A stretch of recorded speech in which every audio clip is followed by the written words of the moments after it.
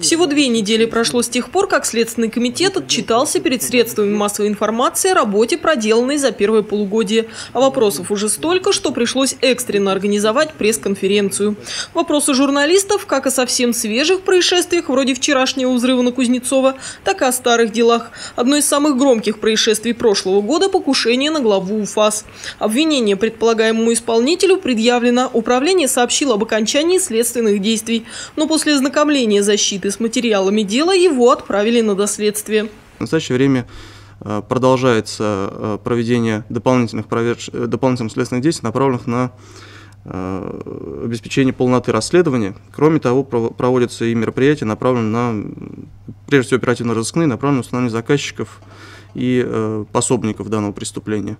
Уголовное дело, как уже говорилось, в отношении них выделено в отдельное производство, и мероприятия по нему не прекращаются. Дело пропавшей в декабре прошлого года учительницы начальных классов Марины Шуваловой закрыто. Ее смерть, по словам судмедэкспертов, носила естественный характер. Признаков насильственной смерти не, не обнаружено. Вообще каких-то телесных повреждений не было.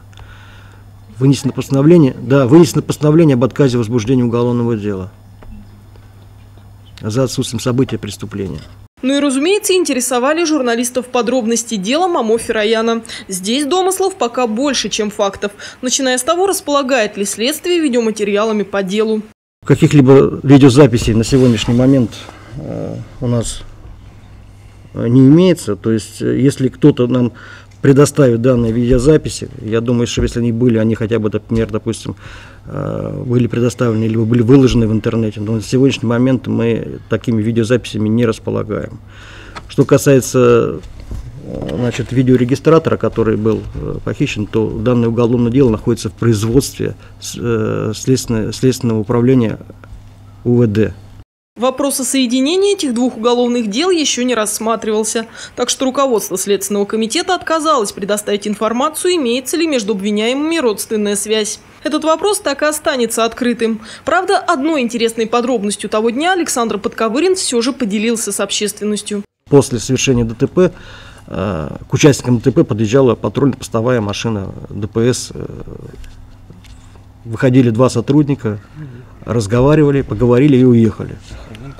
То есть э, после этого, когда уехали эти сотрудники, после этого уже ехал э, Хороненко Евгений Иванович. То есть почему сотрудники значит, уехали с этого, кто там был, мы сейчас эту версию тоже проверяем, тоже есть вопросы. Пострадавший Евгений Хроняков все еще в тяжелом состоянии в больнице. Проводить следственные действия с ним пока нельзя по медицинским показаниям. Но картина следствия и без его версии событий уже сложилась. К делу приобщены многочисленные показания свидетелей, что позволяет опровергнуть множество слухов. В последнее время очень часто говорят э, вот в средствах массовой информации, в интернете, там, да, высказывались о том, что данные события происходили, то есть и били битой, и э, носили, значит, пинали э, сотрудника полиции, оттаскивали его куда-то там, еще что-то, да.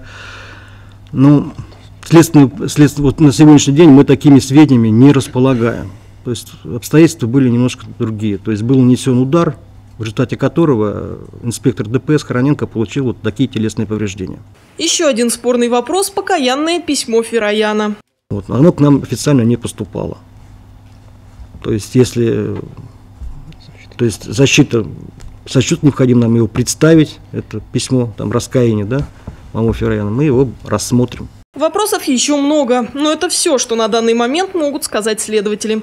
Возможно, инспектор, когда будет способен давать показания, прояснит все обстоятельства того дня. Наталья Романова, Андрей Семиволков, РТВ Иванова.